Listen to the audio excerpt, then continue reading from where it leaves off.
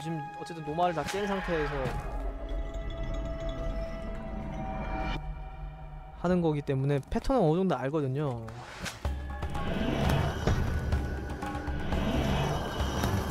얘도 좀 빠르네.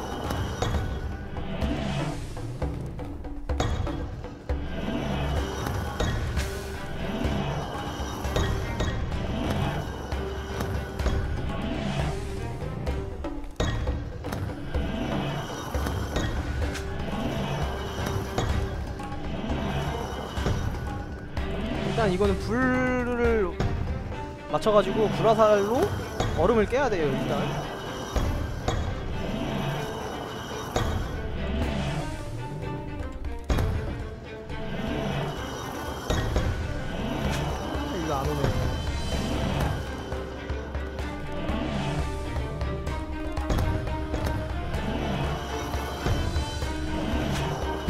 아, 얘가 빠르다 보니까 좀 미끄러지다가 이제 바로 오니까 좀 어렵네요.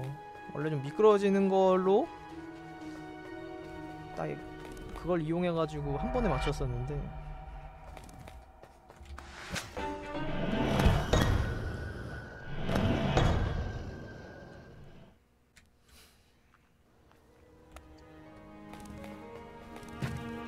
아 저 한 번에 그냥 때렸어야 된다 처음에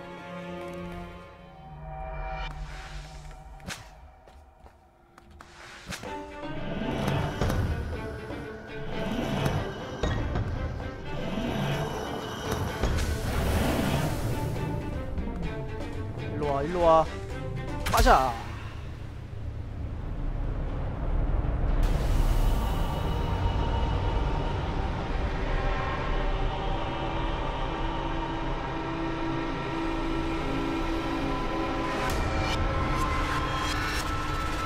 할만한데?